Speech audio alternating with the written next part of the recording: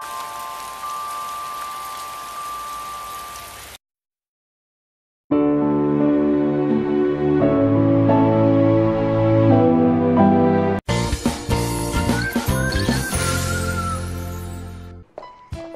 chào quý vị khán giả đang đến với chuyên mục Kỹ năng cuộc sống.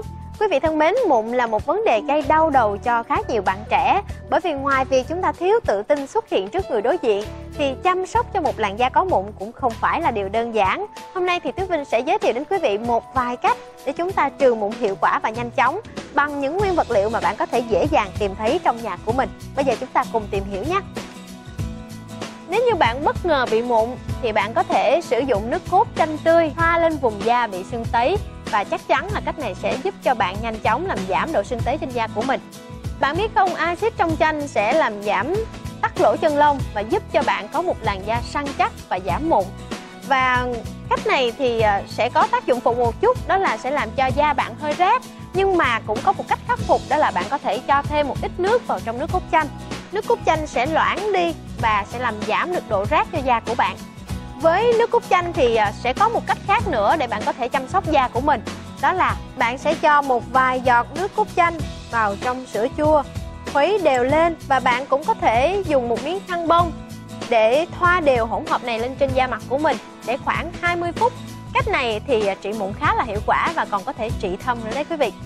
Nhưng nhớ là sau khi bạn đã thoa đều hỗn hợp này lên trên da mặt của mình và để khoảng 20 phút thì bạn sẽ rửa lại bằng nước ấm và dùng thêm kem dưỡng ẩm cho da của mình nha. Bây giờ thì chúng ta sẽ cùng phải kết hợp thêm nước cốt chanh và lòng trắng trứng gà. Quý Vinh sẽ sử dụng một quả trứng và bây giờ chúng ta sẽ cùng lấy lòng trắng trứng gà ra nha. Bạn sẽ cho khoảng một muỗng nước cốt chanh. Và chúng ta sẽ cho một ít lòng trắng trứng vào trong này và bạn cũng sẽ trộn đều hỗn hợp này lên với hỗn hợp này thì bạn có thể xoa lên trên da mặt của mình trong vòng khoảng 15 phút và cách này thì có thể giúp cho da bạn có thể là xe lại lỗ chân lông và làm giảm đi những cái lượng dầu bị dư thừa và chắc chắn là còn có thể giúp bạn giảm được mụn nữa. Và nếu như trên da mặt của chúng ta có quá nhiều mụn đầu đen thì có một cách cũng khá là hiệu quả. Chúng ta có thể lấy một cái mặt nạ bằng giấy như thế này, sau đó thì bạn sẽ nhúng vào trong lòng trắng trứng. Cho thật đều. Và tiếp theo thì chúng ta sẽ đắp mặt nạ này lên trên da mặt của mình bạn hãy đợi cho đến khi nào mặt nạ của chúng ta thật khô và cứng lại và bạn lúc đó chỉ cần lật nhẹ thì những cái vết mụn đầu đen sẽ bong tróc ra ngay trên cái phần da mặt của bạn. Còn bây giờ thì Thuyết Vinh sẽ chia sẻ với quý vị một cách nữa mà chúng ta sẽ sử dụng với một loại trái cây, đó là đu đủ. Đây chắc chắn là một loại trái cây rất ngon và khá là phổ biến, phải không quý vị?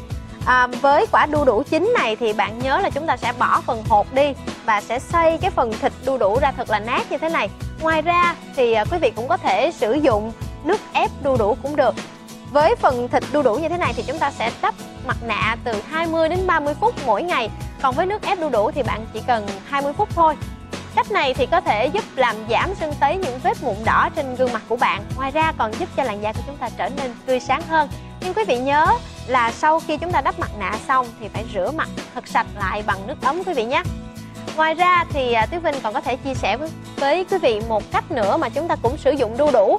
Nhưng lúc này sẽ là một quả đu đủ xanh và chúng ta sử dụng luôn cả phần vỏ và phần hạt non ở bên trong.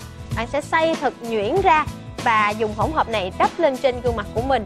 Đặc biệt là những nơi có thật nhiều mụn trong vòng khoảng 15 phút sau đó cũng rửa mặt thật sạch lại bằng nước ấm trong đu đủ thì như quý vị biết là sẽ có rất nhiều vitamin ví dụ như vitamin A, vitamin B, B2 và cả vitamin C nữa.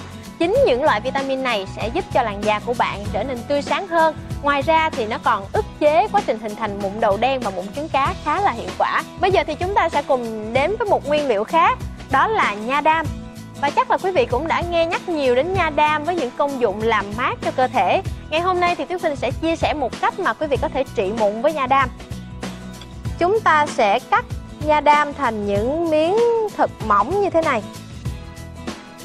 Đây, những lát nha đam rất là mỏng.